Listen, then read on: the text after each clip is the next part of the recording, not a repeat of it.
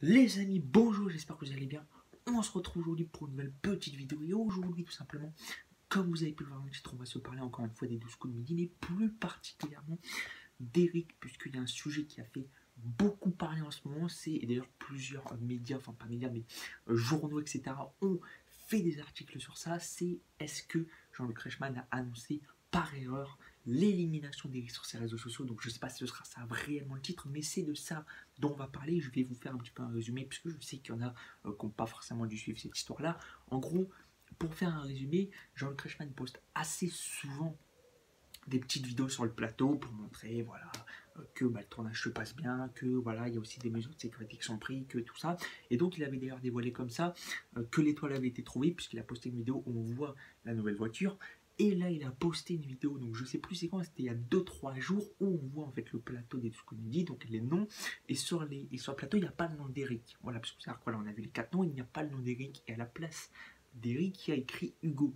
Et donc, beaucoup, beaucoup de gens ont dit, ouais, il a été éliminé, tout ça. Beaucoup de journaux ont dit qu'il avait été éliminé, qu'il avait annoncé ça par erreur.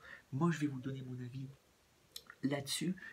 Moi, je vous le dis personnellement, je pense qu'il n'a pas été éliminé. Pourquoi? Parce que, je veux dire, déjà, il faut savoir que Hugo, il y en a plein qui ont dit, ouais, mais en fait, non, il n'a pas été éliminé, c'est juste Jean-Luc Reichmann qui, a, euh, fait une blague, il a peut-être fait ça pour faire croire, etc. Il y en a même qui ont dit que, vu que Hugo, c'est le fils de Jean-Luc il a mis euh, Hugo à la place d'Eric, voilà, pour faire une petite blague, peut-être pas, pour pas, voilà, spoiler le nom des candidats à l'avance.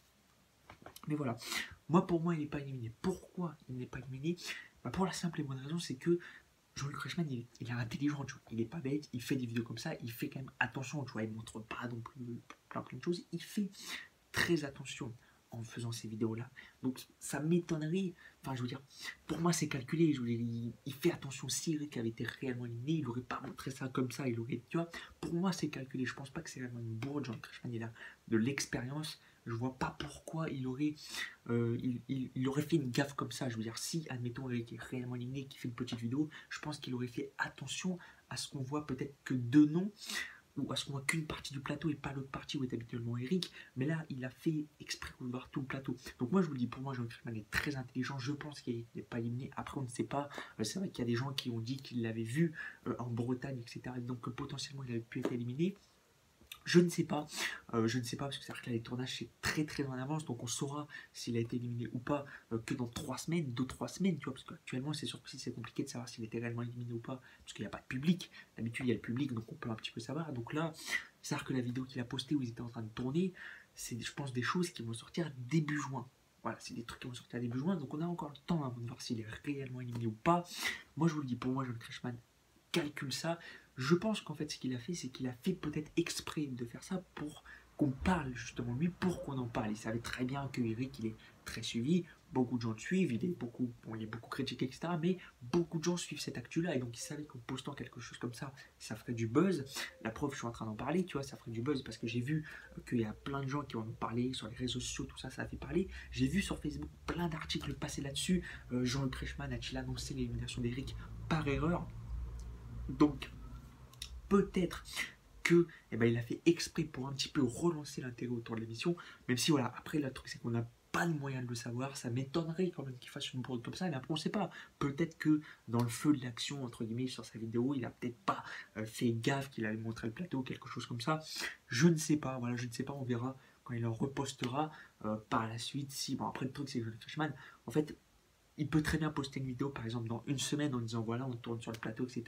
Euh, tout va bien avec Eric. Ça peut très bien être une vidéo qu'il a pris euh, quand Eric est encore là. Donc, ça, c'est qu'on n'aura jamais réellement de certitude euh, s'il est parti ou s'il n'est pas parti. On saura réellement ça que dans 2-3 semaines. Je veux dire, si Eric est encore là le, 20 juin, oui, c'est que évidemment il n'était pas parti. Mais voilà. Pour moi, je me dis, parce que le truc là, c'est que sur le tournage des dit il a dépassé Christian. C'est sûr et certain, puisque bah, ils sont là à la deuxième semaine de tournage. Et donc, voilà, il a largement dépassé Christian. Pour moi, il a atteint euh, le au-dessus de Christian. Après, le truc que je me demande c'est comme question, c'est que est-ce que Eric, ils vont l'éliminer dès qu'il aura euh, dépassé Christian, c'est-à-dire que 194e participation, il l'élimine, ou est-ce que tant qu'ils y sont, tu vois, puisqu'ils aiment bien le favoriser, ils favorisent Eric, euh, autant le faire aller jusqu'à 200 participations, tu vois, autant le faire aller à ce cap-là. Est-ce que, voilà, c'est vrai qu'il y a plein de qui tournent comme quoi ils voudraient qu'il atteigne aussi le plus gros gain jamais gagné en France donc, dans un jeu télé qui est 1 million d'euros pile. Donc dans ce cas-là, il lui manque encore beaucoup d'argent et euh, je sais pas, je sais pas jusque quand ils veulent s'arrêter, je sais pas réellement ce qu'ils veulent faire, mais voilà. Bref, donc voilà, moi pour moi je vous dis, Eric n'est pas éliminé, je pense qu'il va encore le, garder longtemps. Après moi je vous dis, je plus réellement les émissions, puisque bah, Eric, vous savez que moi je ne l'aime pas. Bref, donc voilà, moi sur ce, alors oui désolé, il y a des bruits de moto, tout ça, mais bon, bah, j'ai ouvert ma fenêtre parce que bah, j'en peux plus, tu vois, il fait chaud.